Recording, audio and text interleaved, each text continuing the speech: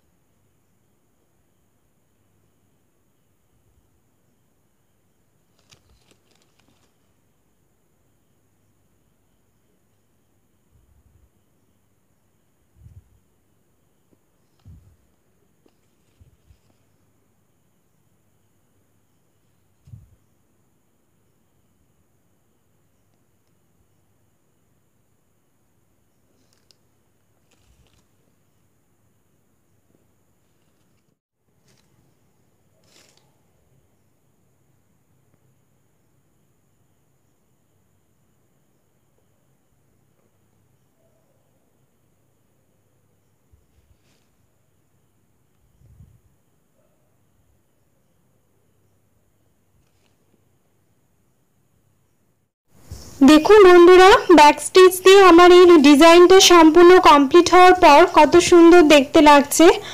এ প্রসঙ্গে আরেকটা কথা বলে রাখি যে ব্যাক স্টিচ সামনের দিকে হলে পিছনের দিকে সবসময় ডাল স্টিচ পড়ে।